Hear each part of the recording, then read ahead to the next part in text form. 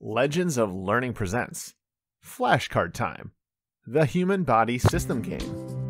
This is a science game that makes learning about multicellular organisms and their subsystems fun and easy to understand.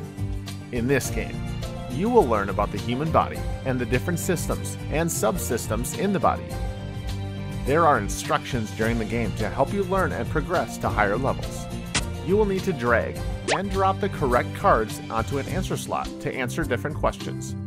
You will earn points for all your correct answers. As you play the game, you will gather useful information about the different systems and organs in the body based on their unique function. Learn more about the human body as you learn more about how two systems are often required to perform basic human functions. Use the mouse to click to drag and drop answers you select for the science questions and tasks.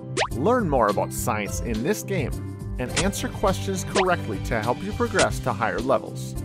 You will be challenged with different science questions as you progress through the game. Are you ready to accept the challenge?